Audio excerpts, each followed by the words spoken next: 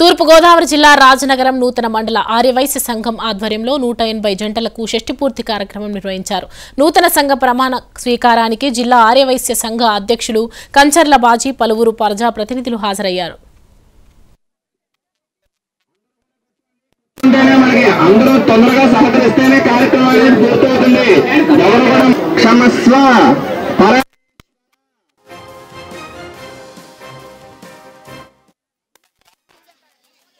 పర వెంకటబాబు వెంకన్నబాబు గారు ఎంతో ఆదర్శనీయులు. వీళ్ళు ఎంతో వ్యయప్రయాసలకు వచ్చి ఈ కార్యక్రమాన్ని చేసి వాళ్ళందరికీ కూడా ఈ నూతన సంవత్సరంలో ఆనందాన్ని సమకూరుస్తూ ఉన్నారు. ఈ విధంగా ఈ షష్టిపూర్తి కార్యక్రమంలో పాల్గొన్నటువంటి అందరూ కూడా ఎంతో ఆనందిస్తూ ఉన్నారు. ఈ విధంగా షష్టిపూర్తి అంటే వాళ్ళు ఎంతో ఉన్నతంగా ఈ సంసారాన్ని చేసి విజయాన్ని సాధించిన వారే. వీళ్ళందరూ కూడా సంసారంలో విజయం చేసి సాధించినటువంటి విజేతలు అందరూ కూడా. అటువంటి విజేతలకి ఈ విధంగా సన్మానించడం అన్నది ఎంతో ఆనందదాయక విషయము. అటువంటి కార్యక్రమంలో మేము పాల్గొనడం కూడా మాకు ఎంతో ఆనందంగా ఉంది. ఇస్కాన్ మేము చాలా ఆనందపడుతుంది ఈ కార్యక్రమం చేసుకున్నందుకు మేము ఏనాడు పుణ్యం చేసుకున్నాం. చాలా ఆనందంగా ఉంది.